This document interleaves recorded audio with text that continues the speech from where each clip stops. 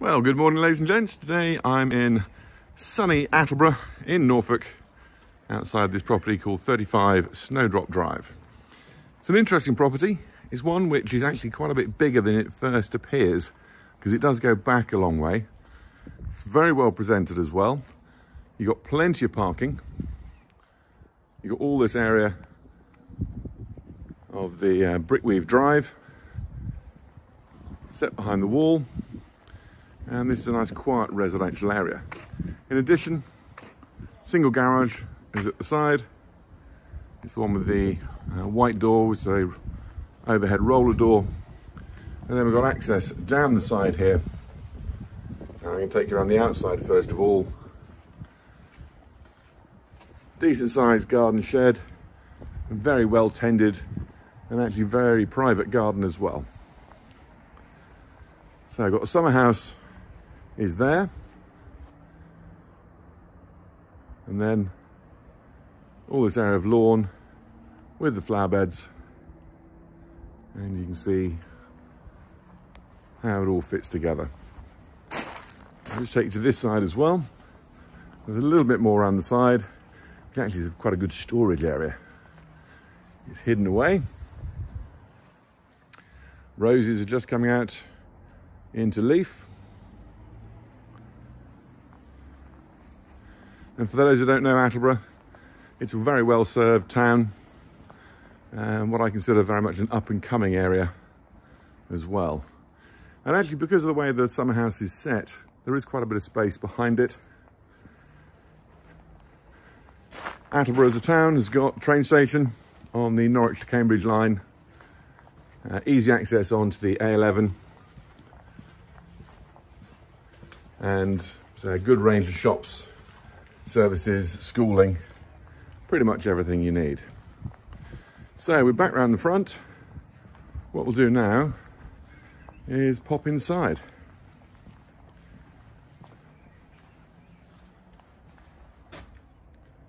Okay, so we're going in through the front door and you're in for quite a pleasant little trip around this property. What we'll do first of all have a look at the living room and I'll just follow it all around. It's a lot of space here. It's superbly presented. And it's got a really good flow as well. So we've got the gas fire. Lovely bright bungalow. You can move straight into this as well.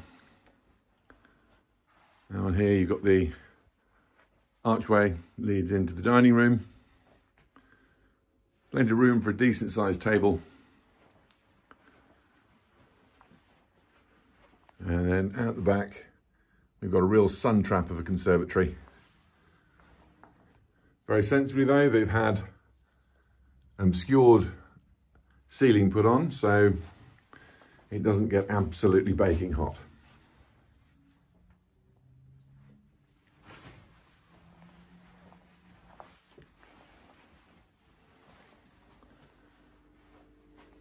Kitchen is very well appointed. It's got some lovely touches like the curved corners on the units. Plenty of space for you. And it's well designed as well. And you see double oven, the hob, the modern extractor. Just so you can see his dishwasher there as well. Then at the back, you've got space for more white goods, a similar cream coloured unit, and door to the rear garden.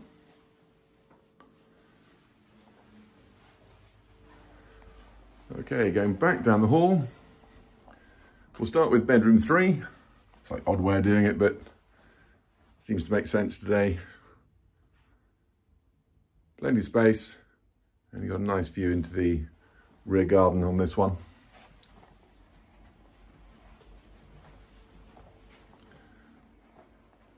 Bedroom two. Easily takes a double bed.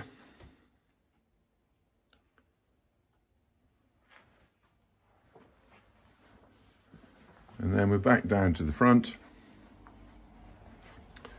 where we've got the main bedroom.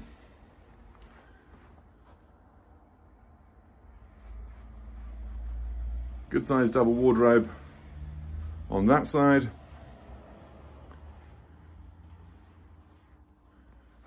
And then this also has the ensuite shower room.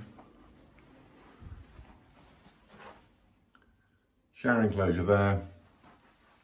Put up with me in the mirror, apologies. And you've got the loo and the basin.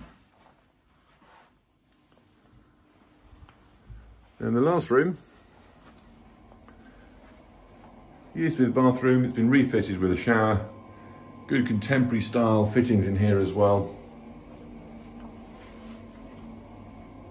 It's got a decent sized shower, plenty of space. You both you've got a hand attachment, I can show you around that side hand attachment, and then you've also got that big fixed head rose as well. So that's all the property. Um, viewing details are coming up next, and uh, we look forward to speaking to you shortly.